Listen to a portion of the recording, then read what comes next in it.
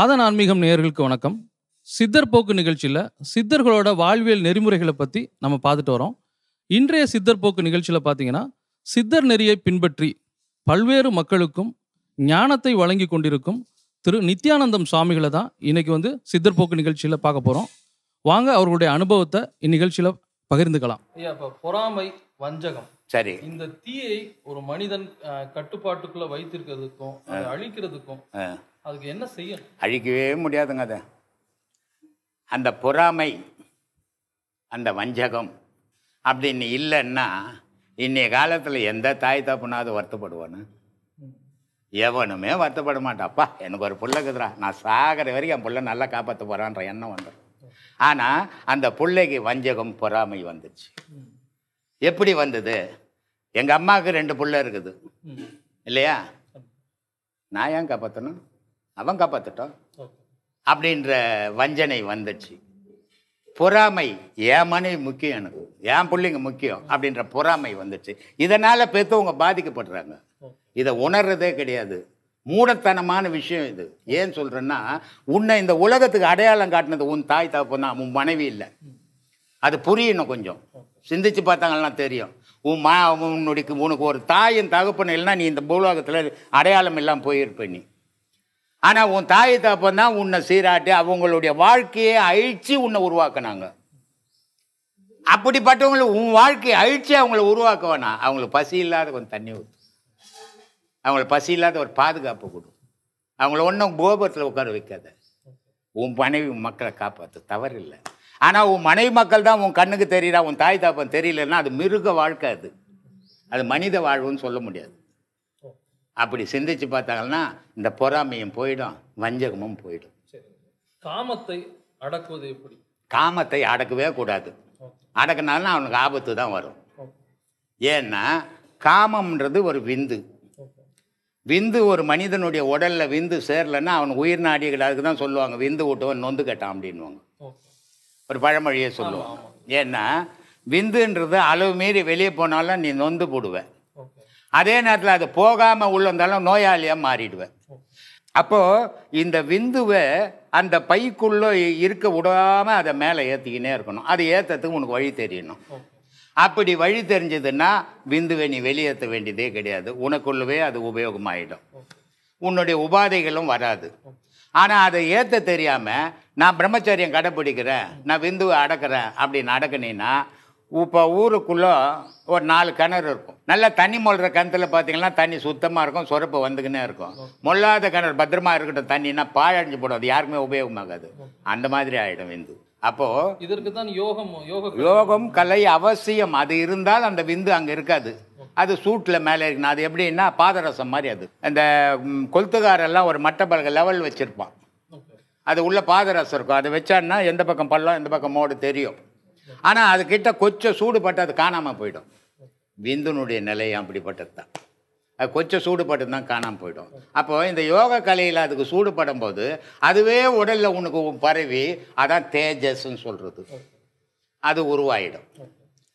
அந்த மாதிரி வழி தெரியணும். வழி தெரியாமல் அதை அடக்கிறேன்னா அது தவறான முறையில் போயிடும். சரியான குருவிடம் குரு இல்லாமல் இந்த செயலெல்லாம் செய்யவே முடியாது. அதே நேரத்தில் குருன்ட்டு பேப்பர் படிச்சுட்டு உட்காந்து குருன்னு வேஷம் கட்டிங்கிறவங்கட்டெல்லாம் போனீங்கனாலும் மாட்டிப்பேன். அவனும் கெடுவான் உன்னையும் கத்துருவான். அதையும் கொஞ்சம் ஜாக்கிரதையாக பார்க்கணும். சரி ஆமாம் இன்றைக்கி நிறைய குருமார்கள் எப்படி ஆயிட்டாங்கன்னா எல்லாம் புக்ஸில் குருவாயிட்டாங்க. ப்ராக்டிக்கலில் குருவாகல. புக்கு படிச்சு தானே ஞானம் அவ்வளோதானே அப்படின்னு போயிட்டாங்க. அப்படி இல்லை ஞானம். புக்கில் எதுலேயும் உண்மை கிடையாது. செயல்முறைகளை ஒரு குருக்கிட்ட போனால் தான் செய்து காட்ட முடியுமே தவிர புக்கில் இருக்கிறத செய்துனா விபரீதத்தை தான் நீ அனுபவிக்க வேண்டி வரும். படிப்பறிவை விட பட்டறிவு ரொம்ப முக்கியம். முக்கிய அவசியம் அது. அனுபவம் தராத மற்ற எதனால எதுவும் உனக்கு பயன் தராது.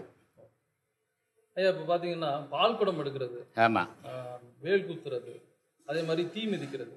இதெல்லாம் கோயில் விழாக்கள்ல நம்ம ஆமாம் ஆமாம் இதுக்கான தாத்பரியம் என்ன? ஆனா மக்கள் அதை எப்படி எடுத்துட்டு போயிட்டு இருக்காங்க அதை பக்தின்னு எடுத்துக்கிறாங்க. ஓகே. அதை வந்து என்ன பண்ணுறான் மனுஷனுக்கு? ஒரு கஷ்டம் வருது. இல்லை ஒரு வீட்டில் ஒரு குழந்தை இல்லை. இல்லை ஒருத்தருக்கு வீடு கட்ட முடியல. இது மாதிரி பல காரணங்கள் மக்களுக்கு வரும். அப்படி வரும்போது அவங்க என்ன சொல்லிக்கிறாங்கன்னா முருகா நான் பால் குடம் எடுக்கிறேன். என் மருமகளுக்கு ஒரு குழந்தை வேணும். என் பிள்ளைக்கு ஒரு குழந்தை வேணும். அப்படின்ற ஒரு சொல்ல அந்த ஒருத்தர் உபயோகப்படுத்துகிறாங்க அந்த சொல்லினுடைய வலிமையால் அவங்களுக்கு ஒரு குழந்தை பிறந்துடும் அது முருகர் போய் கொடுக்கறது இல்லை. இவங்களுடைய எண்ணமும் இவங்களுடைய சொல்லும் இருந்த வலிமை அவங்க கர்ப்பம் தரிச்சு குழந்தை பிறந்துடும் உடனே அவங்க என்ன பண்ணுவாங்க? முருகர் கொடுத்தாரு. அப்படின்ட்டு பால் கூட எடுப்பாங்க. வேல் குத்துவாங்க. எண்ணத்தை நம்ம எது வேணுமோ அதை நினைச்சிட்டே இருந்தோம்னா கிடைக்கிறது எண்ணம் சுத்தமானதாக இருந்தால் அதுக்கு செயலுக்கு உண்டு. சொல்லுக்கு இருக்கிற வலிமை உலகத்தில் வேற எதுக்குமே கிடையாது. சொல் அவ்வளோ வலிமையாக இருந்தது. நான் ஏற்கனவே ஒரு வீடியோவில் கூட சொல்லு சொல்லியிருந்தேன். ஹிட்லர்னுடைய சொல்லு உலகத்தை அழிச்சது. மாசோத்திங்கன் சொல்லு இன்னும் சைனாவை உருவாக்குச்சு அப்படின்னு சொல்லியிருந்தேன். அப்போது சொல்லுனுடைய வலிமை சுத்தமான சொல் உண்மையான சொல்லாக இருந்தால் அந்த சொல்லு சத்தியத்தில் இருக்கும். போலி சொல்லாக இருந்தால் அது பலிக்காமல் போகும். இப்போ பாத்தீங்கன்னா காசி ராமேஸ்வரம். இங்க போய் குளிச்சுட்டு வந்தா நம்ம பண்ண பாவங்கள் எல்லாம் போகும் அப்படின்னு மக்கள் நினைக்கிறாங்க. சரி. வருஷத்துக்கு ஒரு தடவை அங்க போய் குளிச்சுட்டு சரி. நம்ம என்ன பாவம் வேணா பண்ணலாமா? இது கூத்தான விஷயம் இது. ராமகிருஷ்ண பரமஹம்சர் ரொம்ப அழகாக ஒருத்தர் போய் கேட்குறார் சாமி காசியில் குளிச்சா பாவம் போவோன்னுவாங்கல்ல நான் காசியில் போய் குளிச்சிட்டேன் பாவம் போயிடுச்சா? இல்லைப்பா போல ஏன் போல? காசியில் குளிச்சா பாவம் போகுமே. நீ பாவத்தோட போய் குளிச்சிருந்தா தானே பாவம் போவோம் நீ பாவத்தை கழிட்டு மத்தில் மாட்டிட்டு குளிச்சுட்டு வந்த திருப்பி மாட்டிக்கின்னு வந்துட்டியே. எப்படி போச்சு உன் பாவம்னு வரும் இதற்கு உண்மையான பொருள் என்ன? பொருள். இப்போ நீங்கள் ஒரு செயல் இப்போ மீடியாவில் இருக்கிறீங்க. இந்த மீடியான்றது கெட்டதுன்னு உங்களுக்கு தெரியுது. ஆனால் அதையே செய்துங்கிறீங்க பொழப்பு கோசம் இப்போ நீங்கள் என்ன பண்ணிக்கிறீங்க? இந்த மீடியா தொழில் எனக்கு வேணாம். இந்த பாவம் பாவமாக இருக்குது. பல பேர் கெடுறாங்க இதனால். அதனால் நான் வந்து இனிமேல் போக மாட்டேன். ராமேஸ்வரத்தில் போய் குளிச்சிங்க. குளிச்சிட்டு வந்து திருப்பி மைக்கை தொடக்கூடாது நீங்கள் தொடாமல் இருந்தால் அந்த பாவம் போவோம். ஆனால் குளிச்சிட்டு வந்து ரெண்டு கையில் ரெண்டு மைக்கை பிடிச்சிங்கன்னா ஜாஸ்தி பாவம் வரும். பத்து பைசா இன்ட்ரெஸ்ட்டுக்கு விட்டுட்டு வா டெய்லி சாயந்தரம் காலையில் காசை கொடுத்து சாயந்தரம் காசை வாங்கிட்டு ராமேஸ்வரத்தில் போய் குளிச்சா பாவம் போகுமா? ஏமாத்துல இதெல்லாம். யாருடைய பாவமும் யாரும் வாங்க மாட்டான். கடவுள்னா முட்டாளா? சாதாரணமாக இன்னைக்கு பிறந்து நாளைக்கு சாவர உனக்கே இவ்வளோ அறிவு இருக்குது. அழிவே பிறப்பு இறப்பு இல்லாத நிற்கிற எவ்வளோ பெரிய அறிவாளியாக இருப்பான்? அவன் நீ செய்த பாவத்தில் வாங்கி மூட்டை கட்டி வச்சு பைத்தியக்காரனா கடவுள். அதனால் மனிதனுடைய ஏமாத்தல் இது. யாருடைய பாவமும் யாரையும் விட்டு நீங்காது. நீ ராமேஸ்வரத்தில் போய் குளிச்ச பாவம் போயிடுச்சு. ஒரு விரலை வெட்- வெட்டி ராமேஸ்வரம் கடலில் போட்டு வந்துட்டு இருந்தீங்கன்னா என் பாவம் எல்லாம் க- விரலோட போச்சுன்னா நியாயம். எதை விட்ட நீ? போயிட்டு வந்து மூணு கிலோ கறி வாங்கிக்கிறேன் ஆக்கிறேன் ஒரு வாரமாக கறி சாப்பிட்லன்ட்டு. முப்பது கிலோ மீன் வாங்கிக்கிற. அப்புறம் எங்கே போச்சு உன் பாவம்? எப்படி போவோம்? செயல்கள் மாறிச்சா? ஒரு தேவஸ்தானம். இந்த இந்த இறைவன் இருக்கிற இடத்துக்கு போய் வந்தீங்கன்னா புனிதப்படணும் நீ. ஆனால் போய் வந்தவொடனே அதிக பாவங்களை செய்யும்போது எங்கே உன் பாவம் போகும்? கண்டிப்பா உன்னுக்கிட்டவே இருக்கும். இதுதான் பிறவி பிறவிக்கு தொடருது. மனிதனுடைய வாழ்க்கையில் ரெண்டு தான் கூட வருது. பாவம் புண்ணியம். இல்லையா? ஒரு மனுஷனுடைய வாழ்க்கை இப்போ நம்ம நாலு பேர் பத்து பேர் உட்காந்துங்கிறோம் கை காலெல்லாம் நல்லா இருக்குது இப்போ எனக்கு கூட எழுபத்தி நாலு வயசு ஆச்சு ஏதோ கண்ணாடி இல்லாத பார்க்குறேன் கண்ணாடி இல்லாத பேசுகிறேன் கண்ணாடி இல்லாத வண்டி ஓட்டுறேன் ஏதோ பண்ணின்னுக்கிறேன். ஆனால் என் கூட வேலை செய்த ஒருத்தனும் உயிராக இல்லை. ஏன்னா அந்த தொழில் அது மாதிரி. சீ ஓட்டு வெல்டு அது எல்லாரும் செத்து போட்டான். நான் ஈட்டு மட்டும் இல்லை அந்த கெமிக்கல் அது. அதனால எல்லாரும் இறந்துட்டான். நான் இந்த பாதையில் இந்த தொட்டு தப்பிச்சுக்கிட்டு உட்காந்துக்கிறேன் நான் அவங்கள மாதிரி இருந்தால் எப்போ எனக்கு எல்லாருக்கும் முன்னே நான் போயிருப்பேன்.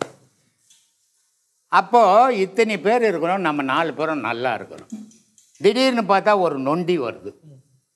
இது என்ன பாவம் பண்ணுச்சு என்ன கடவுளுக்கு பகையா அந்த நொண்டியை? காலில் அது போச்சு. ஏன் வந்தது? அப்போ தெரியுது இல்லை. நாலு பேர் நல்லா இருக்கிற இடத்துல நாலு பேர் கண்ணு தெரியாதுக்கிறான். நாலு பேர் கால் இல்லாதக்கிறான் நாலு பேர் நிமிர முடியாதுக்கிறான் இதுக்கு என்ன இறைவனுடைய படைப்பில் இவ்வளோ வேற்றுமை வருமா? வாய்ப்பே இல்லையே. இறைவன்ன்றும் ஒரு தாய் மாதிரி. இறைவன்ன்ற ஒரு தந்தை மாதிரி. அவங்ககிட்ட வேற்றுமையே கிடையாது. ஆனால் மனிதன்கிட்ட வேற்றுமை உண்டு. இந்த மனித வேற்றுமை பாவத்தையும் புண்ணியத்தையும் மாறி மாறி மாறி சம்பாதிக்குது. இது எதை அதிகமாக சம்பாரித்து வச்சுங்கதோ அதுக்கு ஏற்ற மாதிரி பிறக்குது. அதாவது நம்மகிட்ட இருக்க தீய எண்ணங்களை விட்டுட்டு நல்ல எண்ணங்களை தேர்த்துக்கணும்னா நமக்கு அடுத்த பெரிய இன்னும் நல்லா இருக்கும். நம்ம இப்போ நல்லா இருக்கிறோம்னு நாலு பேரை பார்த்து கேலி பண்ணி நாலு பேரை கேவலப்படுத்தணும்னா நாலு பேரை விட நம்ம அடுத்த பெரிய மோசமான கேவலமான நிலைமைக்கு நம்ம போவோம். இதை உணர்ந்தோம்னா நம்ம யாரையும் நம்மளை விட தர குறைவாக நினைக்க மாட்டோம். மனித வாழ்க்கையில எவனுமே உயர்ந்தவன் கிடையாது. எவனுமே தாழ்ந்தவனும் கிடையாது. எல்லாரும் உயர்ந்தவன் எல்லாரும் தாழ்ந்தவன் தான். உன்னை விட உயர்ந்தவன் உலகத்தில் ஒருத்தன் கிடையாது. உன்னை விட தாழ்ந்தவனும் உலகத்தில் ஒருத்தன் கிடையாது. இந்த மனசை நீ உருவாக்கிக்கினா ஒருத்தனை ஒருத்தனை கேவலப்படுத்த மாட்டீங்க. யாரை கேவலப்படுத்தி உனக்கு என்ன வந்துட போகுது? ஏதாவது பட்டமாக கொடுக்க போகிறாங்க உனக்கு? பத்து பேரை நீ கேவலப்படுத்திட்ட. இந்தா உனக்கு பட்டம்ன்ட்ட இல்லை இப்போ மன்னர் காலத்தில் பொற்கை கொடுத்தாங்களே அது மாதிரியா கொடுக்க போகிறாங்க ஒன்றும் கொடுக்க போகிறது இதுல என்னடா ஏற்றத்தாழ்வு? ஜாதி மதம் குலம் கோத்திரம் ஒருத்தனை தாழ்த்தி ஒருத்தனை வாழ்த்தி மனிதன் எல்லாரும் அன்போடு இருக்கணும்னு வாழ்ந்தால் அதுதான் சரியான வாழ்வு. இந்த கொரோனா வந்து மக்கள் மத்தியில வந்து பெரிய பயத்தை உண்டாக்கியிருக்கு. அதே சமயத்துல மக்கள் எப்படி வாழணும் அப்படின்ற விஷயத்தையும் கத்து கொடுத்துட்டு இருக்கு இதை பத்தி நீங்க என்ன நினைக்கிறீங்க? இந்த இயற்கையினுடைய கோபம் அது வந்து உங்களை எப்படி யோசிக்க வச்சிருக்கு? கொரோனாஸ் வந்துங்க சாவு இன்னைக்கு எண்ணிக்கை அதிகமா இருக்குது. போன ட்ரிப்பை விட. ஆமா. இரண்டாவது அலை. ஆமாம் இதில் ஒரு விஷயத்த எல்லாருமே சிந்திக்கணும். அதை ஏன் சிந்திக்க மாட்டாங்கன்னு எனக்கு தெரியல. கொரோனாஸுக்கு இப்போ இல்லாத காலத்திலும் மரணங்கள் ஆஸ்பத்திரியிலும் நடந்தது ஊருக்குள்ளும் நடந்தது. இல்லையா? மார் வழியில் சாவா வயிற்று வலியில் சாவா. இப்படி பலவிதமான மரணங்கள் நடந்துக்கிட்டு தான் இருந்தது. ஆனால் இன்னைக்கு எப்படி செத்தாலும் கொரோனான்னு சொல்ல ஆரம்பிச்சிட்டாங்க. இது இது ஒரு தவறான ஸ்டேட்மெண்ட் இல்லையா? சொல்லு. அஞ்சு பேர் சாவரத்துல ஐம்பது பேர் சாவரன்னா எனக்கு கூட ஒரு பயம். இன்னைக்கு பயத்தில் செத்துங்கிறான் நிறைய பேர். மனுஷனுக்கு தைரியம் ஊட்டணுமே தவிர பயம் கூடாது இது எப்படி செத்தாலும் வேற எந்த சாவு பத்தியாவது இது வரைக்கும் தான் இந்தியாவில் சொல்றாங்களா? கொரோனாஸில் செத்தா கொரோனாஸில் செத்தா கொரோனா. எல்லாருமே கொரோனாஸில் சாவுறான். வேற எதுலையுமே சாவே வர்றது இல்லையா இவ்வளோ நாள் கொரோனாஸாக இருந்து செத்துக்கணும் தான் உலகத்தில். என்னமோ இது வரைக்கும் சாவாத மாதிரி. அதனால தவறான இது இதெல்லாம். இதை வந்து சிந்திக்கணும் கவர்மெண்ட் கொரோனாவில் சாவது கொரோனா சாவு. இயற்கையாக சாவது இயற்கையான சாவுன்னு சொல்றதுல ஒன்றும் தப்பு இல்லையா? எல்லாருமே கொரோனா சொன்னும்போது பயங்கள் உருவாகி போகுது. இந்த பயத்துல சாவறான். கொரோனாஸ் இல்லாமையே சாகுறான் பயத்துல. பயம் கொள்ளுது அவனை. ஆனா மக்களுக்கெல்லாம் நான் ரொம்ப தாழ்மையோட கேட்குறேன் பாதுகாப்பா இருக்கிறது அவசியம். ஏன்னா இயற்கையை மோதி யாரும் ஜெயிச்சவன் இது வரைக்கும் உலகத்தில் கிடையாது. இயற்கை தான் ஜெயிக்கும். அப்போ நம்ம இயற்கை கிட்ட மோத விரும்பக்கூடாது. இயற்கையை கண்டு ஒதுங்கி வாழ்ந்தால் பயம் நம்ம தைரியமாக வாழலாம். இயற்கை எதிர்த்து போனோம்னா நமக்கு தான் ஆபத்தை தவிர இயற்கைக்கு ஆபத்து இல்லை. அதனால அந்த மாஸ்க்லாம் அவசியமாக போடுங்க. இந்த இன்ஜெக்ஷன் போடுறதெல்லாம் போட்டுங்க தவறு இல்லை. ஆனால் எல்லா மரணங்களும் ஒரு குழந்தை செத்தா கொரோனாசு வயசானவர் செத்தா கொரோனாசு எல்லாத்துலயும் கொரோனாசுன்றது ஒரு தவறான ஸ்டேட்மெண்ட் சாமி இது. என்னுடைய அறிகுறிப்படி ஏன்னா இது வரைக்கும் எல்லாருமே கொரோனாஸ்ல செத்துன்னுக்குறாங்க எப்படி செத்தா கொரோனாஸ்ல சாவறனா கொரோனாஸ்ல செத்தான்னு சொல்லுங்க தப்பு இல்லை. உங்களோட கருத்துப்படி சாதாரண இறப்புகளை கூட கொரோனா கொரோனா சென்னிட்டு அந்த பாடியை கூட வீட்டுக்கு கொடுக்காம பிள்ளைங்க கூட பார்க்க முடியாம இது ஒரு தவறான ஸ்டேட்மெண்டா தெரியுது எனக்கு. அதனால இதை கொஞ்சம் சீர் பண்ணா நல்லா இருக்கும். ஊடகங்களும் இயற்கையா சாவறது இயற்கையா சாவறோம் கொரோனாஸ்ல சாவறோம் கொரோனாஸ்ல சாகுறோம். அப்படின்னுட்டா பிரச்சனையே இல்லை. அப்ப பயம் குறையும். நீ எப்படி செத்தாலுமே கொரோனாஸ் போது அவனுக்கு தானாவே பயத்துல வந்துடுறான். ஒன்றும் இல்லை. ஐசிஎஃப் ஹாஸ்பிட்டல் கொரோனாஸ்ல ஒரு அஞ்சு பேர் செத்து போயிருக்கிறான். என்னுடைய ஃப்ரெண்டு நல்லா இருந்தார் அவர். டிஸ்சார்ஜ் பண்ணிட்டாங்க அவரை. ஆனா டாக்டர் வந்து கையெழுத்து போட்டு கொடுக்கணும். அது வரைக்கும் அந்த கொரோனாஸ் வார்டுல இருந்து அதை பார்த்து செத்து போயிட்டாரு. பயத்துல. பயம். ஏன்னா மனிதனுக்கு ரெண்டே ரெண்டு விஷயம் தான் ஒன்று தைரியம் ஒன்று பயம். வாழ்க்கையில ரெண்டும் அவசியம். தைரியத்தை பிடிச்சோம் மேல வந்துருவான். மேலே வந்துடுவான் பயத்தை பிடிச்சவன் கீழே அடிக்கயத்தில் போயிடுவான். அதனால இது ரெண்டும். ஆனா அதே நேரத்தில் எல்லாத்துலேயும் தைரியத்தை வச்சுக்கினா வாழ்க்கையில் ஆபத்து வந்துடும் குருட்டு தைரியமும் ஆ அதனால சரியாகவும் இருக்கணும் அது. பயம் வாழ்க்கையில் அவசியம். ஆனா வாழ்க்கையே பயமாக்கிக்கின்னா நீ வாழவே முடியாத ஆயிடும் அதனால இந்த பயம் பொறுத்தறத கவர்மெண்ட் கொஞ்சம் குறைக்கணும். உண்மையான நிலை கொரோனாஸ்ல ஐம்பது பேர் செத்தா செத்துட்டான். சாதாரண மரணம் ஐம்பது பேர் செத்தா செத்துட்டான். ஆனா நூறு பேரையும் கொரோனாஸ் போது மிச்சம் இருக்கிற எல்லாருமே பயந்து சாகுறான். அரசாங்கமும் ஊடகங்களும் இதை வந்து சரியா சரியா எடுத்து செய்யல அதுதான் உங்களோட ஆமா. அதே நேரத்துல எல்லாரும் இன்ஜெக்ஷன் போட்டுக்கணும். தவறில்லை. ஆனால் கட்டாயப்படுத்தி போடக்கூடாது. விருப்பப்படுற அத்தனை பேர் இன்ஜெக்ஷன் பண்ணிக்கிட்டோம். தவறில்லை. அது மரணமே வந்தாலும் அது அவங்களோட போயிடும். நம்மளா போய் வலி கட்டாயம் பண்ணி நம்மளை கொண்டுட்டாங்கன்னு சொல்ல மாட்டாங்க. அதே நேரத்தில் மாஸ்க் கம்பல்சரி எல்லாரும் போடுறது நல்லது. இந்த மாஸ்கில் ஒரு பிரச்சனை இருக்குது. சாதாரண மூச்சு விடுறவனுக்கு பிரச்சனை இருக்காது. வீசிங் இருக்கிறவனுக்கு பிரச்சனை வரும். வீசிங் இருக்கிறவனுக்கு மாஸ்க் போடும்போது மூச்சு திணறல் வரும். அப்போ அவன் என்ன பண்ணணும்? கொஞ்சம் கொஞ்சம் எடுத்து எடுத்து ரெஸ்ட் எடுத்து போட்டுக்கணும்னா பிரச்சனை இருக்கு. இது அடுத்தவங்களுக்கும் பாதிக்க விடக்கூடாது. நம்மளும் பாதிக்கக்கூடாது. அப்படிப்பட்ட மனநிலையில போனால் பிரச்சனை சமூக இடைவெளியும் பின்பற்ற கண்டிப்பா இருக்கணும். கண்டிப்பா இருக்கணும். சமூக இடைவெளி கண்டிப்பா இருக்கணும். இப்போ இதுல பாருங்க ஒரு சின்ன தவறு. ஒரு டீ கடை இருக்கக்கூடாது. நியாயம் கூட்டம் கூடக்கூடாது அங்கே டீ குடிக்கக்கூடாது கும்பல் கூடி பேசும்போது அது ஒருத்தரோட தொத்தம். அதே மாதிரி ஒரு மளிகை கடை ஆறு நாள் தான் இருக்கும். எல்லாம் பண்ணிட்டு மது விலக்கை விட்டு வச்சா அது என்ன அர்த்தம்? அவன் அங்கேயே அவனுக்கு நினைவில்லாத சளி துப்புறான். டைமிங் இப்போ வந்து எட்டு மணிலேருந்து பன்னெண்டு மணி வரைக்கும் ஆக்கிறேன் இன்னும் அதுவும் ஏன்னா நீ எந்த இன்ஜெக்ஷனை பண்ணி அவனுக்கு எதிர்ப்பு சக்தியை உண்டாக்கணுன்றியோ மதுவை அதை மதுவிலக்கு பண்ணி அவன் இருக்கிற எதிர்ப்பு சக்தியை அழிச்சிக்கிறான்.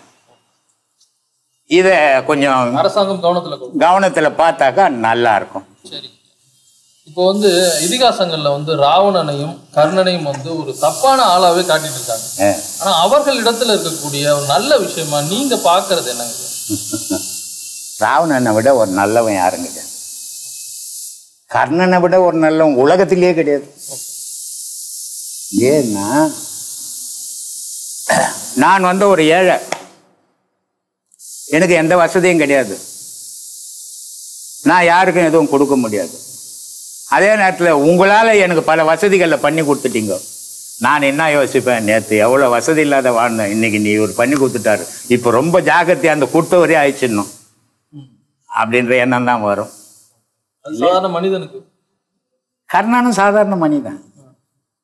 ஏன்னா அவனுடைய வேதனைக்கு ஈக்குவலாக மகாபாரதத்தில் யாருக்குமே கிடையாது. பிறப்பிலிருந்து அவன் பாதிக்கப்பட்ட மனதளவு. அவனை விட வேதனைப்பட்டவன் மகாபாரதத்தில் ரெண்டே பேர் தான் சாமி. வேற யாருமே கிடையாது. மகாபாரதத்தில் அவ்வளோ வேதனைப்பட்டவங்க வேற யாருமே கிடையாது. அதில் உச்சக்கட்ட வேதனை கர்ணன் தான். ஆனால் வேதனைன்னும் போது ரெண்டு பேருக்கு சேரும். அது பீஷ்மருக்கும் சேரும். ஏன்னா அவருடைய வாழ்க்கையே தானம் பண்ணார் அப்பனுக்காக. இல்லையா? சாவர வரைக்கும் நான் எந்த இப்போ இதுவாக இருந்தாலும் அந்த இது நியாயம் அநியாயம் இல்லாமல் அந்த இதை காப்பாற்றுவேன் அப்படின்ட்டார். அப்போ அது அவர் வாழ்வே அழிஞ்சுது அந்த ஆனால் அது மட்டும்தான் பீஷ்மருக்கு. கர்ணனுக்கு அப்படி இல்லை. போற இடம்லாம் அசிங்கம். இவ்வளோ பெரிய வீரன். அவனை மாதிரி வீரன் யாரும் கிடையாது மகாபாரதத்தில். மகாபாரதத்தில் மூணு வீரர்கள் தான். ஒன்று பீஷ்மன் துரோணர் கர்ணன். மூணு பேர் தான் வீரருங்க. மீதி பேரெல்லாம் இவங்கெல்லாம் அர்ஜுனெல்லாம் வீரன் கிடையாது. ஆனா இப்போ சரித்திரம் வீரன் சொல்லுது. சித்தரிக்கப்பட்டது. ஆனா உண்மையான வீரர்கள் இவங்க மூணு பேர் தான். இல்லையா? காரணம் ஒரு மனிதனை இப்போ நீங்களும் இருக்கிறீங்க நானும் இருக்கிறோம். ரெண்டு பேரும் நம்ம போர்க்களத்தில் சண்டை போடும்போது நீங்கள் ஜெயிக்கலாம் நான் ஜெயிக்கலாம். யார் வேணாலும் ஜெயிக்கலாம் வெற்றி. ஆனால் உங்கள் கூட கடவுளை வச்சுக்கினா நான் ஜெயிக்க முடியுமா? அப்படி நீங்கள் ஜெயிக்கும் போது அது உண்மையான வெற்றி ஆகுமா? அர்ஜுனனுடைய வெற்றி அப்படி தானே அவன் யாரை கொன்னான்? பீஷ்மரை கொன்னானா? துரோணரை கொன்னானா? கர்ணனை கொன்னானா? யாரையுமே கொல்ல முடியல அர்ஜுனால. வேத வேசர். வியாசர். அவர் தான் வேத வேசர். வேசர் தானே வேதம் எழுதினவர். அந்த வேத வேசர் வந்து அப்படிலாம் சித்தரிச்சிட்டார். உண்மையான துன்பப்பட்டவனை காப்பாற்றலவங்க சுகவாசிங்களை காப்பாற்றினாங்க காரணம் என்ன? கொஞ்சம் கஷ்டப்பட்டாங்கன்னா அவங்களுக்கு சாதகமாகவே எழுதிட்டாங்க அதை. கர்ணனுடைய பிறப்பு. ஒரு தாய் தந்தைக்கு தெரியாது. ஒரு தாய்க்கு கல்யாணம் ஆகாது முன்ன கர்ப்பம் தரிச்சிட்டான். கர்ப்பம் தரிச்ச உடனே அந்த கர்ப்பம் வந்து ஊருக்கு தெரிஞ்சதுன்னா அசிங்கமாயிடும். அதனால அந்த குழந்தைய பெற்று ஒரு பொட்டியில் வச்சு விட்டுடுறான் ஆத்துல. இல்லையா? அப்போவே அவனை கொண்டுட்டாங்க கருவிலேயே பிறந்த உடனே கொன்னாங்க அவனை. இல்லையா? சரி அவன் பிறந்து போய் அந்த பெட்டி போகும்போது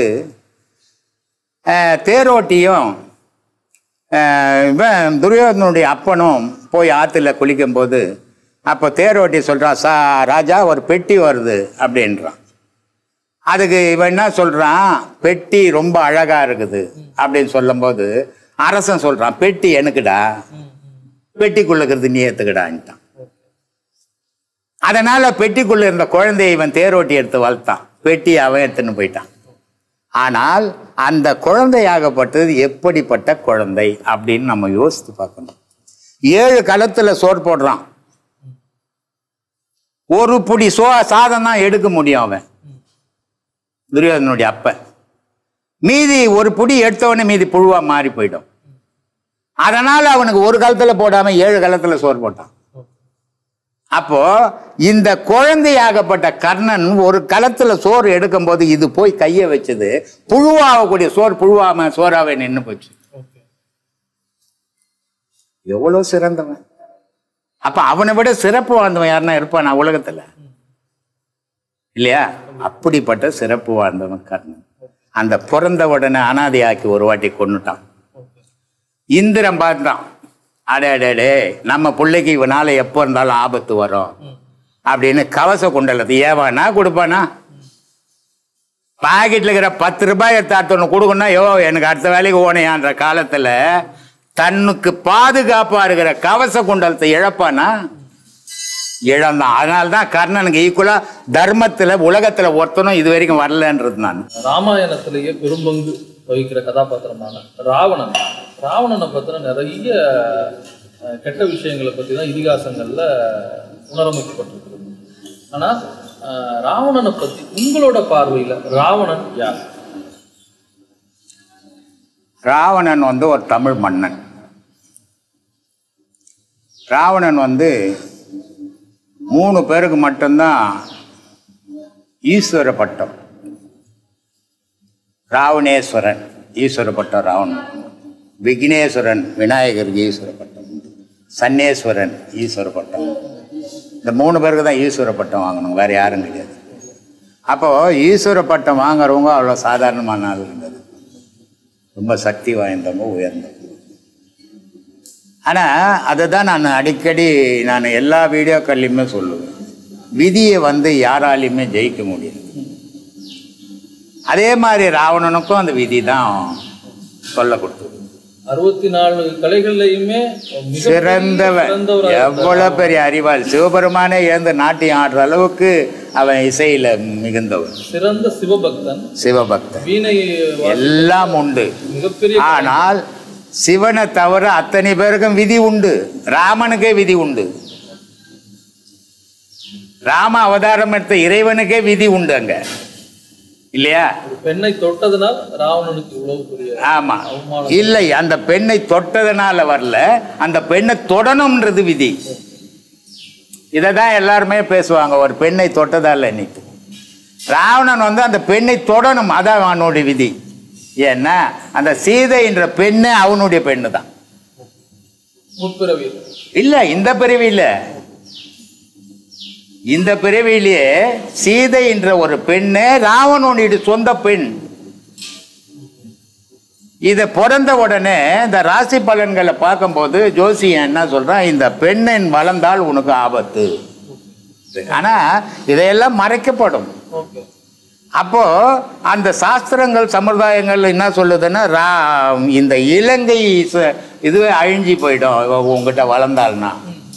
அப்படின்னும் போது சரி என்ன பண்றது பெத்த புள்ளைய அப்படின்னு சொல்லிட்டு கடல்ல வீசிடும் அந்த கடல்ல வீசும்போது தான் வந்து அனாதையா இங்க விழுந்து அந்த குழந்தை இல்லாத இவர் அவர் பேர் என்ன? ஜனகருக்கு அந்த குழந்தை கிடைக்குது. அந்த ஜனகர் எடுத்து வளர்த்ததுனால அவருக்கு பிறவியில் அவருக்கு சொந்தமாக குழந்தை கிடையாது.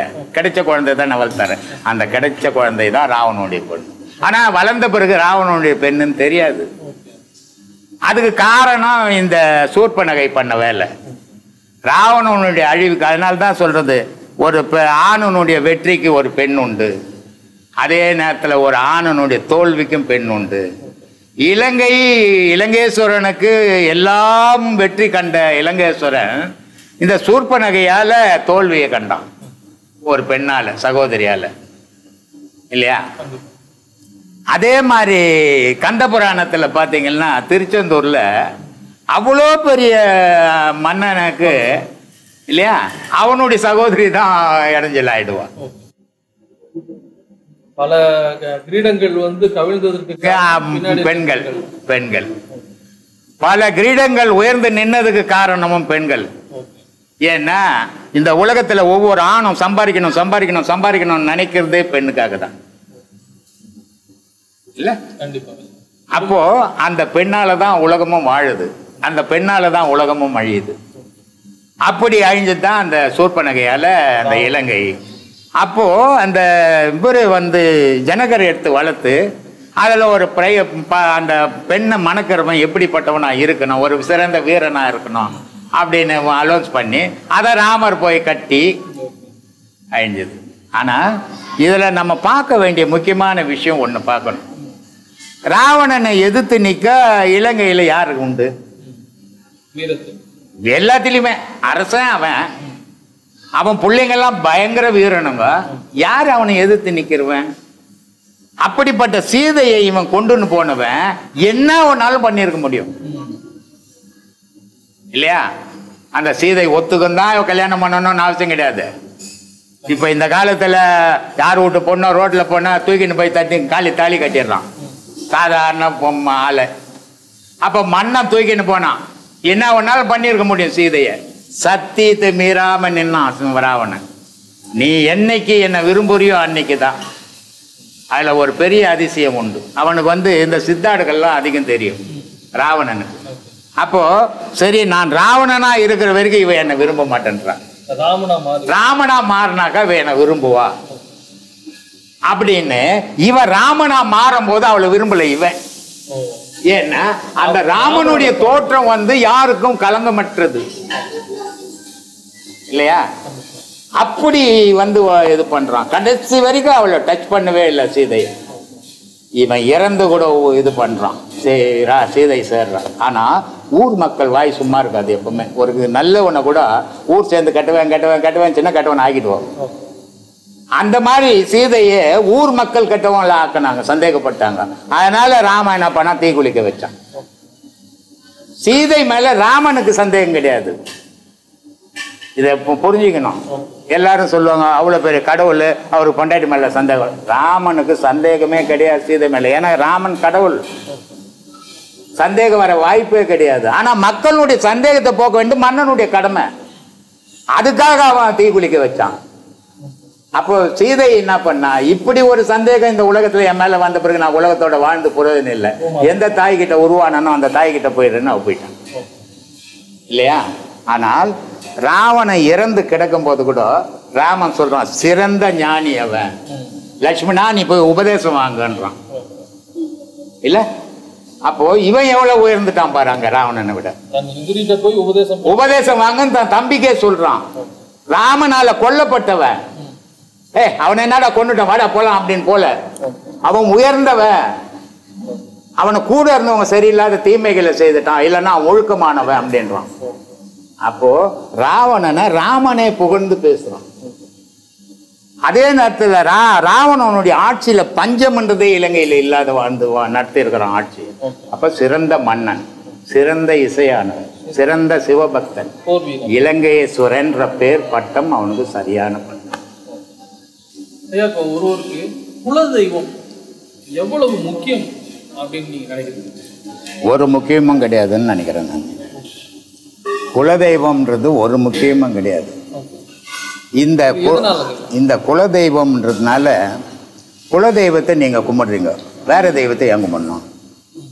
உங்களை காப்பாற்ற போகுது அது குலதெய்வம். அப்புறம் இன்னொரு தெய்வம் எதுக்கு இன்னொரு கோயிலுக்கு ஏன் போறீங்க?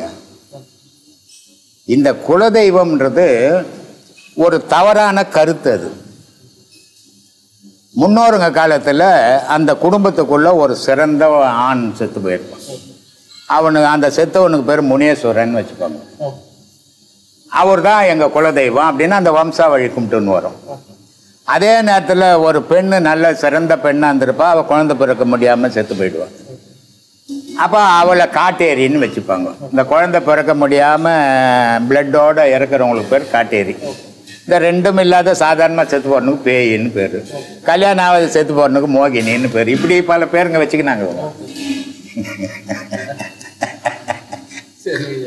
அப்போ இந்த குலதெய்வம்ன்றது அது அப்போ முடிஞ்சு போச்சு.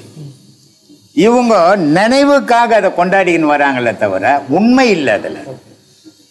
உலகத்துக்கே நான் பல வீடியோக்களில் சொல்லிக்கிறேன் கடவுள் ஒன்று ஒன்று ஆண்டவன் உனக்குள்ள இருக்குது. கடவுள் உலகத்தில் இருக்குது. இந்த ஆண்டவனுக்கும் கடவுளுக்கும் தான் லிங்க்கு இங்க பிறந்து சாவறவங்க உடலுக்கு எந்த லிங்க்கும் கிடையாது. நம்மளுடைய முன்னோர்களை தான் வந்து குலதெய்வம் இதை வகுத்து வச்சுட்டான். இது இந்த குலதெய்வ வழிபாடுன்றது ஒரு மதத்தில் இருக்குதா? அப்படின்னா எல்லாரும் நினச்சிக்கிறாங்க இந்து மதத்தில் மட்டும் இருக்குதுன்னு சொல்லிட்டு. எல்லா மதத்துலையும் கும்பிட்டுன்னுக்குறான் ஆனால் வெளியே சொல்ல மாட்டான். இவன் மட்டும் சொல்லியும் தெரிவான். இல்லையா? முன்னோர்களை வழிபடுறது தான் குலதெய்வ வழிபாடு. இப்போ சாதாரணமாக கட்சிக்காரங்க கூட முன்னோர்களை வழிபட்டுன்னுக்குறாங்க பக்தி பண்ணின்னுக்குறாங்க ஆனால் மறுப்பாங்க. நான் கடவுள் மறுப்பாளனும் கடவுள் மறுப்பாளனுக்கு ஏன் கும்பிடணும் போய் இன்னொருத்தரை? கும்பிட வேண்டியதே கிடையாது. இதெல்லாம் வந்து இயற்கையாக ஏற்படக்கூடிய விஷயங்கள். அவனுடைய உள்ளத்துக்குள்ளவே நம்மளை விட உயர்ந்தது அது. அதை வழிபடணும் அப்படின்ற எண்ணம் இயற்கையாக ஏற்படும் அது. ஆனால் அடுத்தவங்ககிட்ட மறுப்போம் நம்ம. உண்மை இல்லை அது. இல்லையா? இப்போ எங்கள் அப்பா செத்து போயிட்டாரு. இல்லை எங்கள் தாத்தா செத்து போயிட்டாரு. அவர் செத்து போனாரு பிறக்க போகிறது இல்லை. அவர் செத்து ஒரு போனவர் போனவர் தான். நான் ஏன் அவரை வழிபடணும்? நான் ஏன் அவரை கும்பிடணும்? நான் கும்பிட வேண்டியது என் பொண்டாட்டி.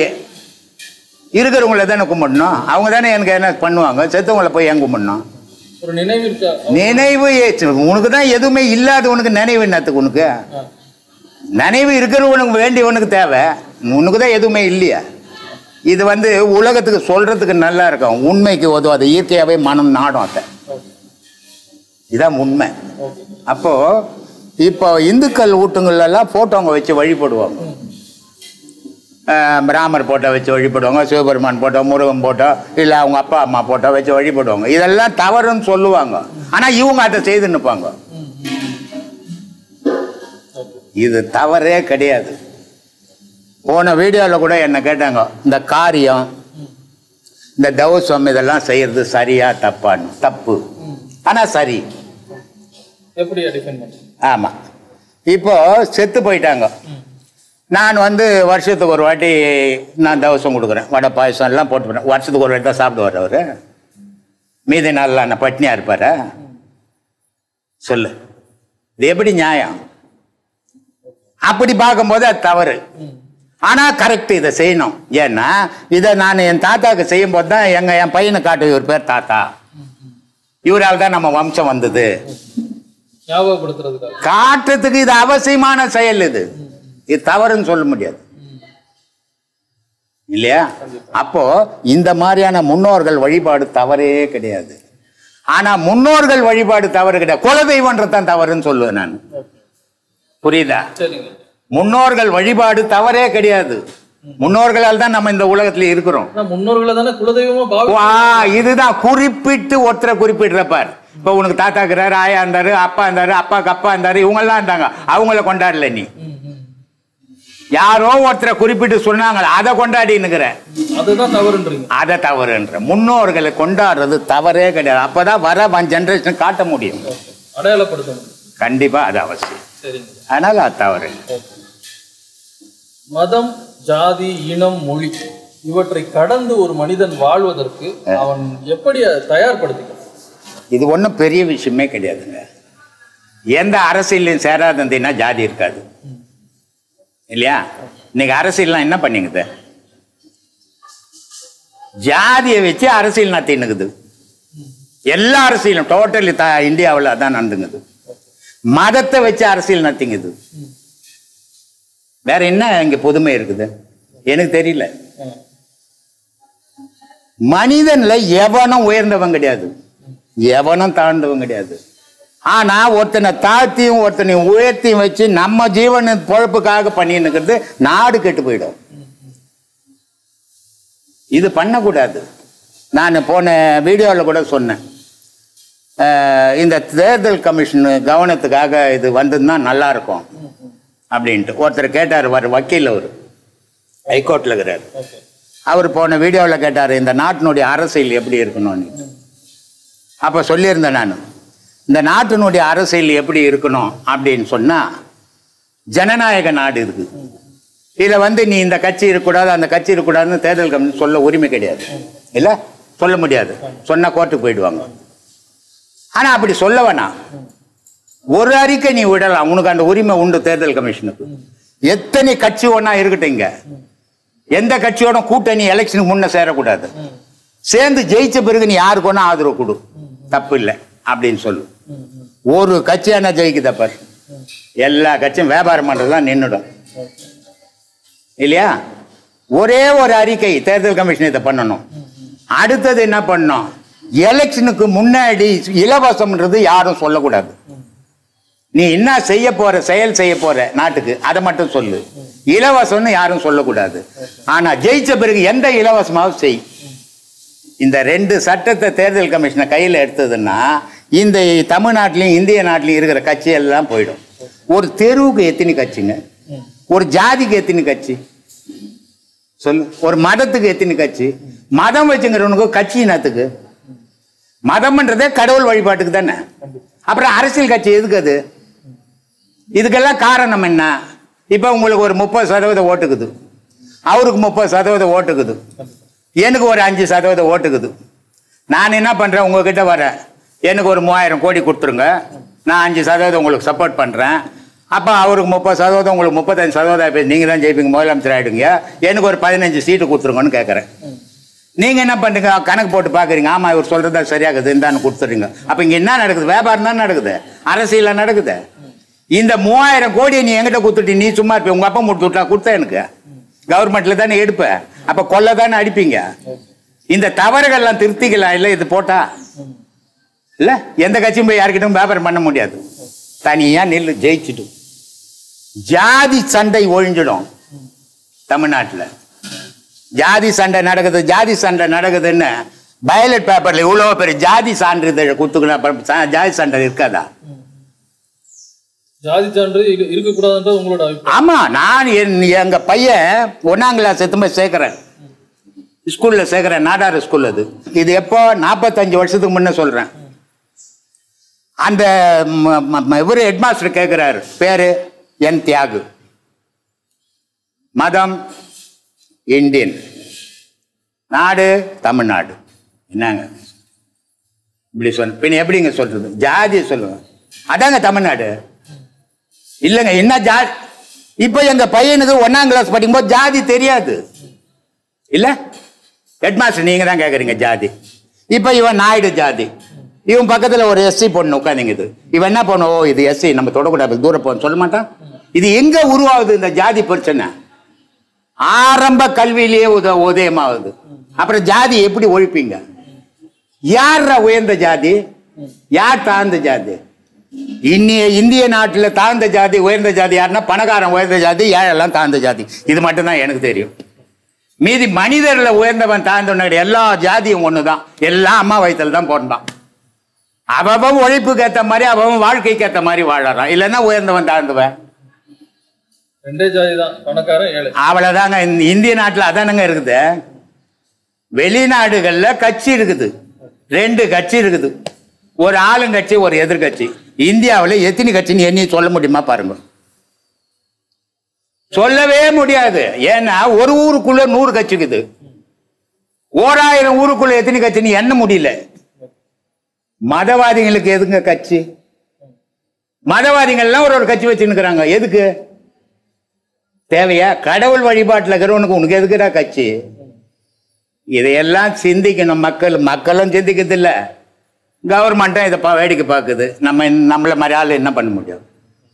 சொல்லுங்க. இதெல்லாம் ஒழியறதுக்கு இந்த மாதிரி ஜாதி சான்றிதழ்கள் இருக்கவே கூடாதுங்க. ஒன்லி ஃபார் இந்தியன்ஸ் பிரஜா உரிமை தமிழ்நாடு போடுங்க. ஜாதி சண்டையே இருக்காதுங்க. ஜாதி வேற்றுமையே இருக்காதுங்க. அவன் உழைப்பான் அவன் சாப்பிட போறான். அது மாதிரி வரும். தேர்தலில் இந்த மாதிரியான ஒரு கட்டுப்பாடு எடுத்துன்னு வந்தாலும் இந்த வியாபாரம் எல்லாம் தீர்ந்து போயிடும். நல்ல அரசியல் நடக்கும். இந்தியாவில் மதம் இனம் மொழி இல்லாத தமிழ்நாடு வேணும்னு மொழி இருக்கும். மொழி ஒவ்வொரு மாநிலத்துல அந்தந்த மொழிகள் இருக்கும். ஜாதி இருக்கக்கூடாதுன்றேன். மொழி இருக்கிறது தவறு இல்லை இப்ப தமிழ்நாடு தமிழ் இருக்கலாம். ஆந்திரா போனா தெலுங்கு இருக்கலாம். கனடா போ அஹ் கேரளா போனா மலை அது மொழி தவறில்ல. தாய் மொழி அது. இந்த ஜாதி ஏற்றத்தாழ்வு இருக்கக்கூடாதுன்ற நான். சமமா பார்க்கிற நோக்கம் கொண்டு வாங்க அதுதான் மக்களுக்கு நல்லது. அதை விட்டு போட்டு ஏற்றத்தாழ்வை உண்டாக்கும் போது மனசுக்குள்ள அந்த இளமையிலேயே உருவாகிறது தான் வெறியா மாறி போகுது விதையிலேயே வஞ்சத்தை திணிக்க வேண்டாம். அதை இருக்கக்கூடாது. அதுக்கு நம்ம காரணமா இருக்கக்கூடாது. இல்லையா? அந்த மாதிரியான ஒரு சமுதாயம் அமைஞ்சா ரொம்ப சந்தோஷமா இருக்கும். வருங்காலங்கள்ல அந்த மாதிரி சமுதாயம் இருக்கணும்னு உங்க சார்பா நான் விரும்புறேன். பாத்தீங்கன்னா இப்போ கலப்படம் செய்றாங்க. இப்போ மக்கள் வந்து சாப்பிடக்கூடிய அன்றாட வாழ்வியலுக்கு தேவைப்படுகின்ற உணவுப் பொருட்கள்ல முதற்கொண்டு கலப்படம் வந்து பெருகி போய் இந்த மாதிரி விஷயங்கள்லாம் செய்யறாங்களே இது எப்படி இதை வந்து இந்த மாதிரி விஷயங்கள் இப்ப பண்றதுனால அவர்களுடைய குடும்பமே பயங்கரமா பாதிக்கப்படுது. ஒன்றும் பாதிக்காது. ஒன்றும் பாதிக்காது. இந்த கலப்படம் செய்வர்களுடைய வாழ்வு எப்படி இருக்க போகுது? அதுதான். நல்லா இருக்கலாம். எப்படி இருக்க போகுது நீங்க நினைக்கிறீங்க? அந்த சந்தன கட்டத்தல் வீரப்பன்ல ஆமா. அவன் காட்டில் இருந்தான். இல்லை? அவன் ஒன்றும் காட்டில் ஒரு ஏசி பங்களா கட்டிக்கின்னு ஒரு பதினஞ்சு கார் பதினஞ்சு வாசுபடி வச்சு போல. ஆனால் அவனை சந்தன கட்டை திருடன்னாங்க. ஆனால் அந்த திருட்டு அந்த கட்டை யார் பயன்படுத்திக்கணும் எப்படி அது வெளி உலகத்துக்கு போச்சு? யாராவது சொன்னானா? அவன் பிச்சை தான் எடுத்தான் கட்சி வரைக்கும் அதே மாதிரி இந்த கலப்பு அப்படின்றது விவசாயி பண்றது இல்லை எடுத்த உடனே. இல்லையா? விவசாயம் நல்ல பொருளை தான். அது விவசாயத்திலேயே கலப்பு இருக்குது. முன்னெல்லாம் வந்து ஒரு விவசாயம் பயிர் வச்சான்னா ஒரு ஆறு அடி அஞ்சு அடி உயரம் வரும் பயிர். இப்போ பார்த்தீங்கன்னா ஒரு அடி தான் இருக்குது. உரங்களோட அங்கேயே கலப்பு விதையிலேயே கலப்பு. காரணம் என்னன்னா அதுக்கு பேர் விஞ்ஞானம்னு சொல்றோம். அது எப்படின்னு தெரியல. விஞ்ஞானம் வளர வளர ஏழைகள் வந்து அதிகமாக உண்டாவாங்க. இப்போ ஒரு கிராமம். அந்த கிராமத்தில் ஒரு ஆயிரம் ஏக்கர் இருந்தது. இடம் பயிர் வைக்கிறான். ஆயிரம் ஏக்கர் பயிர் வைக்கும்போது அந்த கிராம மக்கள் அத்தனை பேரும் அங்கே தொழில் செய்தான். அப்போ அவனுக்கு வருமானம் வந்தது. அதே நிலத்து உரிமையானவனுக்கும் வருமானம் வந்தது. இப்போ என்ன பண்ணிட்டான் விஞ்ஞானம்ட்டு மிஷின் எடுத்துன்னு வந்துட்டான். ஏறு உழ மிஷினு நடுவு நட மிஷினு அறுப்பறுக்க மிஷினு வெக்க அடிக்க மிஷினு அந்த கிராமத்தில் இருக்கிற வேலை இல்லை. அப்போ அந்த வேலை இல்லாதவெல்லாம் என்ன பண்ணிட்டான்? சிட்டியை நோக்கி பயணம் பண்ணிட்டான். இன்னைக்கு சிட்டியினுடைய நெரிச்சலுக்கு காரணமே அதுதான். இது வந்து இந்த மாதிரி தொற்றுகள் ஈஸியா பரவுறதுக்கு காரணமும் ஆமா ஒருவரோட ஒருவர் பேசும்போது அந்த அவருடைய வாயில வந்த ஆவி ஒரு கிருமியா மாறும்.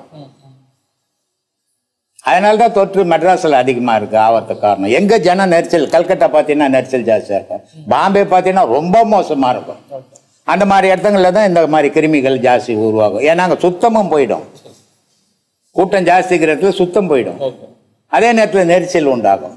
கோயில் சொத்துக்களை அபகரிக்கிறவங்க. ஆமாம் என்ன மாதிரி தண்டனை நினைக்கிறீங்க? தண்டனை இல்லை.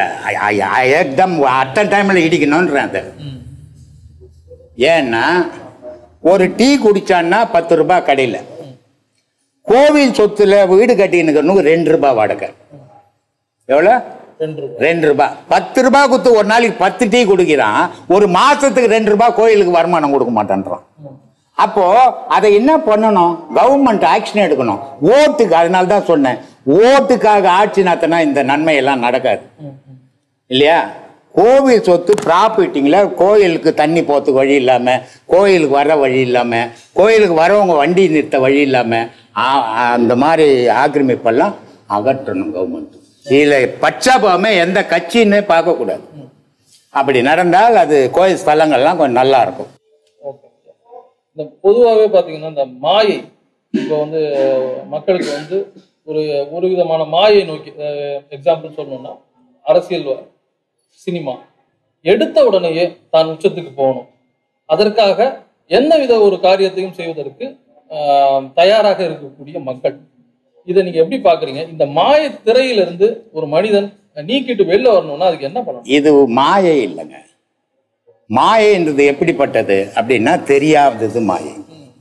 மாயைன்னா தெரியாதது தான் மாயை இது தெரிஞ்சேதான் இது தெரிஞ்சே செய்யறது இது மாயை கிடையாது ஆசை. பேராசைன்னு பேரு. இதை ரொம்ப அழகா அருணகிரி சொல்லுவார். ஒரு மனிதனுக்கு ஆசை இருக்கலாம்பா அது தவறு இல்லை ஆனா பேராசைன்றது அது ஆசை இல்லை. அது ஒரு நோய் ம் அது வந்து வந்துச்சுன்னு சொன்னா அவன் சாகர வரைக்கும் அது அவனை விட்டு போகாதுன்றார்.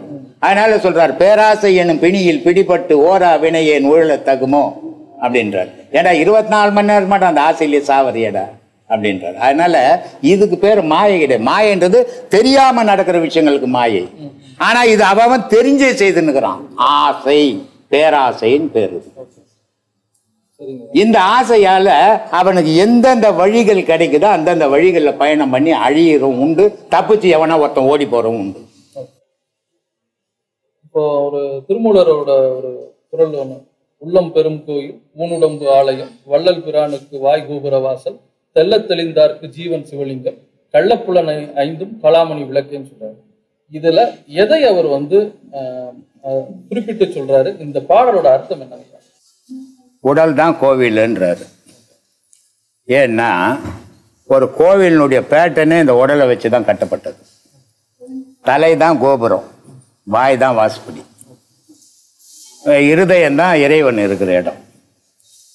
இதை ரொம்ப அழகாக சொல்கிறார் ஊன் உடல் ஒரு பெருங்கோயில் உள்ளம் ஒரு ஆலயம். கள்ள புனல் நீக்கி கருத்தோடு இருப்போருக்கு தெல்ல தெளிவான பரஞ்சோதி தோன்றுமே. அப்போ கள்ளப்புலன்லாம் என்ன அப்படின்னா இந்த அஞ்சும் கள்ளப்புலன். மெய்வாய் கண் மூக்கு செவி. இது அஞ்சும் கள்ளப்புலன் இதை நீக்கி உன்னுடைய உயிரோட கலந்து இருந்து என்னக்கா? கண்டிப்பாக நீ இறைவனை பார்க்கலாம். அப்படின்னு. இதை திருமூலர் இன்னொரு பாடல்லையும் சொல்லுவார்.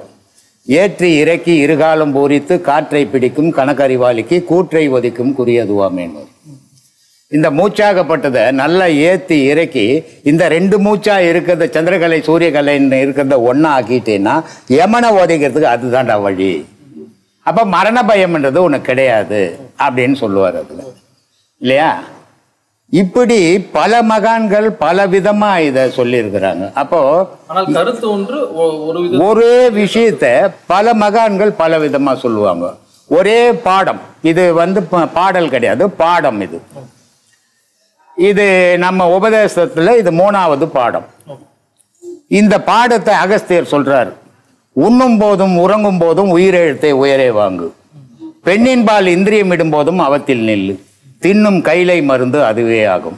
மண்ணுழி காலம் மட்டும் வாழலாம் பாரு மரளி கையில் ஆகப்பட்ட ஏமங்கிட்ட மாட்ட மாட்டேன் அப்படின்னு அகஸ்தியர் சொல்றாரு.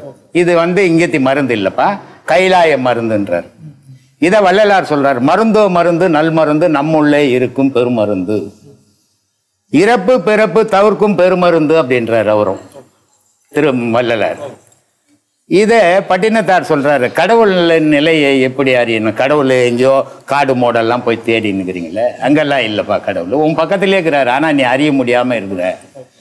ஏன்னா உனக்கு மாயை மூடிட்டு இருக்குது அப்படின்றாரு. அதனால சொல்றாரு எட்டு திக்கும் பதினாறு கோணமும் எங்கும் ஒன்றாய் முட்டி ததும்பி முளைத்தோங்கும் சோதியை மூடரெல்லாம் கட்டி உருட்டி தம் அக்கத்தில் வைத்தார் கருத்தில் வையார்னர். நெஞ்சத்துல வைக்காம அவன் அக்கல்ல வச்சு சுத்தி நிற்கிறானா அப்புறம் அவன் எனக்கு கடவுள் தெரிவான் பட்டப்பகலை இரவென்று கூறிடும் பாதகரேன்றாரு இரவுன்றத ஞானிக்கு கிடையாது அஞ்ஞானிக்கு தான் இரவு. அப்போ ஒவ்வொரு மகான்களும் ஒரே விஷயத்த பேசுறாங்க. இந்த அகஸ்தியர் சொன்ன பாடல திருமூலர் அத்தியே சொல்றாரு மூலத்துவாரத்தை முட்கரம் முட்கரமிட்டிரு மேலத்துவாரத்தில் மேல்மனம் வைத்திரு வேல் ஒத்த கண்ணை வெளியில் விழித்திரு காலத்தை வெல்லும் கருத்தத்தானேன்னாரு ஒரே வித்தை அது. ஒரே பாடம் தான் அது. ரெண்டு மகான்கள் ரெண்டு பேர் ரெண்டு விதமா சொல்றாங்க அதை. மூச்சை அடக்கினால் முன்னேற்றத்திற்கான பாதை. மூச்சை அடக்கிறது அவ்வளோ விளையாட்டா? பேசுறது நல்ல விளையாட்டா இருக்கும். ஆனா அடக்கினா துபாயில போயிடுவோம். அதனால அதுவே தான் அடங்கணுமே தவிர நம்ம அடக்கலாம் முடியாது அத்தை அது எப்படின்னா அடங்காத பசுமாட்டுக்கிட்ட பசும்புல் கொடுத்து ஆட்டி எடுத்துன்னு போற மாதிரி அதை எடுக்கணும். அதை சும்மா போய் அடக்கிறேன்னா நம்மளை குத்தி கொலை பண்ணி போட்டு போடும். அதுவாகவே அதை அடக்கணும் அது கூடவே உறவாடி அதை அடக்கணும். அதனால சும்மா அடங்கிடணும் வாயில பேசுறதுனால அடங்கிடாது அது. ரொம்ப கடினமான பாதை பயணம் அது. ஞானம்ன்றது அவ்வளோ விளையாட்டான விஷயம் இல்லை. உலகத்திலேயே கடினமானது எதுன்னா சும்மா இருக்குது மீதி எல்லாம் செய்ய மனுஷனால் செய்ய முடியும். ஆனால் சும்மா இருக்க மட்டும்தான் சாக போறவங்க கூட சும்மா இருக்க மாட்டான் பேத்தி வந்தான்னு நினச்சி நிற்பான் நினைவில்லாதவர் தான் சும்மா இருக்கிறது. அந்த நினைவில்லாத இருந்தால் அவன் மகான். எல்லா நினைவோடு வந்தால் அவன் அஞ்ஞானி.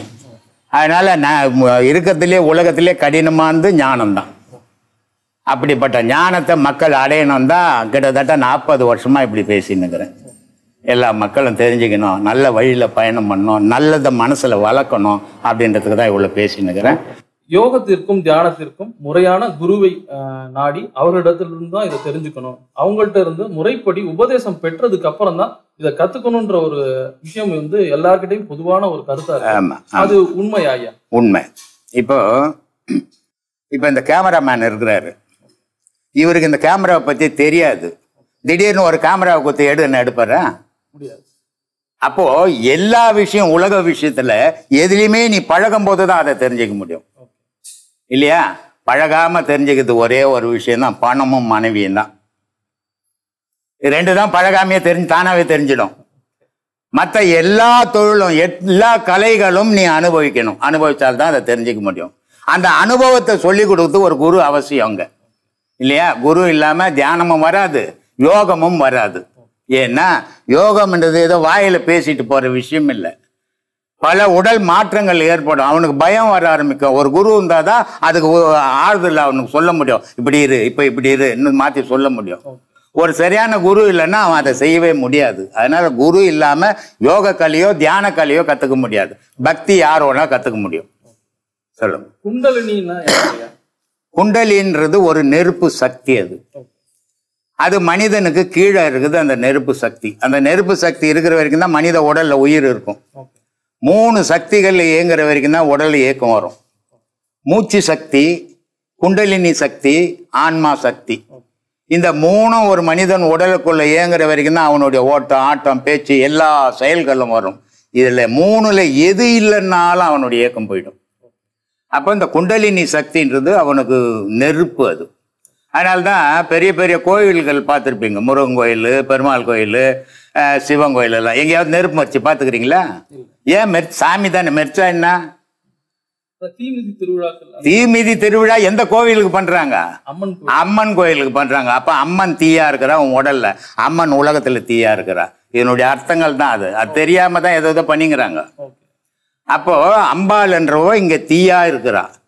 இந்த தீயால உன் உடம்புக்கு தேவையான உஷ்ணத்தை கொடுத்துன்னே இருக்கிறா உன்னை வாழ வச்சுன்னே இருக்கிறா அதுக்கு ஏத்த மாதிரி பெருமாள் என்ற மகாவிஷ்ணு காத்தை கொடுத்துக்கினே இருக்கிறாரு அதனால மூச்சு ஓட்டம் ஓடிக்கினே இருக்குது அதனால நீங்க வாழறீங்க இது ரெண்டும் ஓடும் போதும் சப்தம் வந்துக்கினே இருக்குது அதனால பேசுறீங்க கேட்குறீங்க சொல்றீங்க எல்லா செயலும் நடக்குது. இந்த முப்பொருளும் இதுக்கு அகார உகார மகாரம்னு பேரு. இந்த மூணும் சேர்ந்துதான் ஒரு உலகத்தை இயக்குது மனிதனை இயக்குது. மனு நீதி இந்த காலத்துல எவ்வளவு அவசியம் நினைக்கிறேன் மனுஷனை நினைச்சிட்டானாவே மணி நீதி தான். ஏன்னா வேதத்தில் இருக்கிற மனுநீதிலாம் எடுத்தால் இந்த காலத்தில் வாழவே முடியாது. ஏன்னா உடன்கட்டை மனுநீதி சொ இதில் இருக்குது. ஒரு கணவன் இறந்துட்டா மனைவி இறந்து போகணும். ஆனால் அன்னைய காலத்துக்கு அது சரியா தப்பா அப்படின்னு இப்போ நம்ம ஆர்குமெண்ட்டே பண்ண முடியாது. ஏன்னா ஒரு கணவன் இறந்துட்டாருன்னா அந்த மனைவிக்கு ரொம்ப இழிவான நிலை ஆதியில். இப்போ மாதிரிலாம் இல்லை. கணவன் இறந்த உடனே மறுநாள் பூ போட்டெல்லாம் வச்சுன்னு வர்றதெல்லாம் கிடையாது அந்த காலத்தில். அதனால அந்த அவசியம் தேவைப்பட்டது. அவ்வளோ இழிவுபடுத்தி அவ்வளோ கொடுமைப்படுத்துருவாங்க அந்த கொடுமையை விட செத்து போகிறது நல்லதுன்னுட்டு அப்போ உடன்கட்டைன்னு வச்சாங்க. ஆனால் இந்த காலத்துக்கு அது சரியாக வராது. அதனால மனு நீதி எல்லாம் பார்க்க நான் மனுஷ நீதியை பாருங்க. இன்னைய வாழ்க்கை இது. இதில் என்ன மனு நீதி வாழுது? மனுஷன் வாழ்க்கைக்கு மனு நீதி எங்கேயாவது உதவுமா? நான் மனுநீதி படி வாழறேங்க. நான் உட்காந்து எனக்கு துட்டு வருமா? சோறு வருமா? வராது. அதனால மனு நீதியெல்லாம் பேப்பர்ல எழுதுன எழுத்து தூக்கி போடுங்க. மனுஷ நீதியை பார்த்து வாழுங்க. அதுதான் வாழ்க்கைக்கு சிறப்பா இருக்கும். முன்ஜென்மம் மறுபிறவி. உண்மை. அது இல்ல முன்ஜென்மம்னு ஒண்ணு இல்ல மறுபிறவின்னு ஒண்ணு இல்லைன்னா இப்ப நீங்க எங்கிருந்து வந்தீங்க? நீங்க எப்படி பிறந்து இருக்க முடியும்? இப்போ ஒரு வேப்ப மரம் இருக்குது.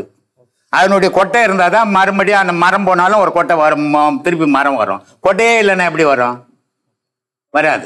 அந்த மாதிரி விதை என்ற விந்து உலகத்துல தெரிச்சிடுச்சு இறைவனால தெரிக்கப்பட்டது. அது இருக்கிற வரைக்கும் செத்து மறுபடியும் போடுறது எது சாகுது? அதான் முக்கியம். உடல் மட்டும்தான் சாகுது. இப்போ நீங்க இது நல்ல ஷர்ட் இது. ரொம்ப அருமையான ஷர்ட் ரொம்ப விருப்பத்தோட போடுறீங்க.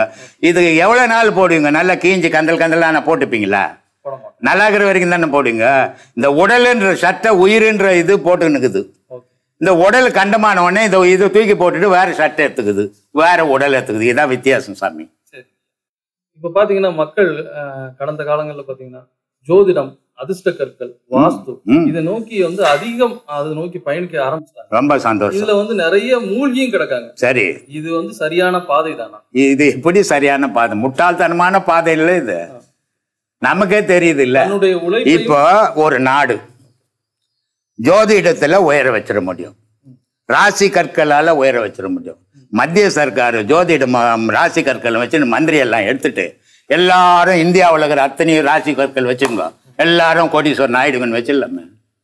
ஐயா முடியல? இது ஒரு ஏமாத்து வேலை. நிஜம் கிடையாது. தனியாக த- ராசி கல் வச்சுக்கிறவங்க கூட அந்த சுத்து வட்டாரத்தில் ஏழையே இல்லாதாக்கி இதெல்லாம் வந்து அது ஒரு தொழில் அது. அது அவங்க செய்யறாங்க. ஆனா மக்கள் வந்து ஆசை இருக்கணும் மனுஷனுக்கு. தவறில்லை. ஆனா ஆசைன்றது பேராசையா மாறும்போது இதை நோக்கி பயணம் பண்றாங்க. நம்மளும் திடீர்னு பணக்காரன் ஆயிடலாமா? நம்மகிட்ட ஒரு ஜோசியர் இருந்தார் நம்ம வீட்டாண்டு இருந்தார். அவர் இப்படி தான் ஏமாத்தின்னு இருந்தார். சந்து நம்ம வீட்டு சந்தில் இருக்கிறவங்களாம் கல் போடுறது மோதிரம் போடுறது எல்லாரையும் பிச்சைக்காரன் ஆக்கிட்டு இவர் மட்டும் ரெண்டாயிரம் மூணாயிரம் ஐயாயிரம் பத்தாயிரம் வாங்கின்னு இருந்தார். அவர் இப்போ டி நகரில் இருக்கிறாரு. பெரிய பணக்காரர் ஆயிட்டாரு. ஆனா தெருவில் இருந்தவங்களாம் பிச்சைக்காரன் ஆயிட்டான்? ஆமா பின்ன உங்ககிட்ட இந்த பணம் எல்லாம் என்கிட்ட வந்துச்சுன்னா நான் பணக்காரன் ஆயிடுவேன். இது தொழில். இது அவன் மேல தவறுன்னு சொல்ல முடியாது. ஆனா உன் பேராசையில போய் ஏமாந்த பாரு. அது பெரும் தவறு. மக்கள் வந்து தன்னம்பிக்கையும் உழைப்பை மட்டுமே உன்னை நம்பணும். முதல்ல உன்னை நம்பணும். என்னால வாழ முடியா? எனக்கு தைரியம் இருக்குதியா? எனக்கு ஒரு தொழில் இருக்குதியா? அதை நம்பி வாழ கல்லு நான் பண்ண கட்டி நான் பண்ணோம் அப்படின்றத நம்பினான்னா அவனுக்கு துன்பம் இல்லை. இது மாதிரி சிக்கல்ல எல்லாம் போய் மாட்ட மாட்டான். நேர்களை இன்றைய நிகழ்ச்சியில பாத்தீங்கன்னா நித்யானந்தம் சுவாமிகள் அவர்கிட்ட நிறைய விஷயங்கள் அவர்கிட்ட நம்ம கேட்டு தெரிஞ்சுக்கிட்டோம். இந்த விஷயங்கள் எல்லாமே வந்து வாழ்க்கைக்கு தேவையான அஹ், வாழுகின்ற மக்கள் அனைவருக்குமே உதவக்கூடிய ஒரு விஷயமா தான் நிச்சயமா இருக்கும். இந்த மாதிரி விஷயங்களை மக்களுக்கு எடுத்துட்டு போகணும் அப்படின்றதான் ஆதன் ஆன்மீகம் குழுவோட நோக்கமா இருந்துட்டு இருக்கு. நிச்சயமா இது போன்று மற்றொரு நிகழ்ச்சியில் உங்களை சந்திக்கும் முன் உங்களிடமிருந்து விடைபெறுவது நெய்வேலி கார்த்திகேயன். நன்றி வணக்கம்.